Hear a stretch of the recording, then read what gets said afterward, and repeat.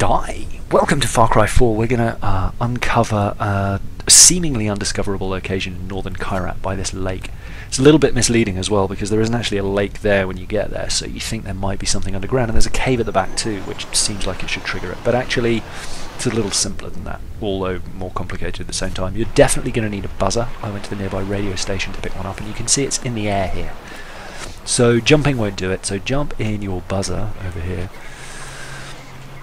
wherever it's gone, there, and uh, get up above the tree on the marker like that on the map, and then just lower yourself down to about halfway up the tree and fly around in circles like this, slowly tapping down, and eventually, there we are. It'll uh, unlock Kyra's Solitude. Uh, so that's how to do that one. I'm still trying to crack the underground location um, in the water where the mask is, sort of in the river in northern Kyrat. I think that's actually bugged. I think it's under the ground and there doesn't appear to be a way to get to it at all. I've had about 20 minutes of looking around there with no love. Uh, and I've done it a few times before.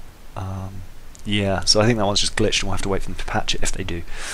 Anyway, on the left, Cave of the Dead, a tricky mask to locate, and on the right, uh, what happens to Sabal? All three ways you can meet him at the end of the game if you chose to meet his path. Anyway, that's it for now. I'll see you in the next one. Bye!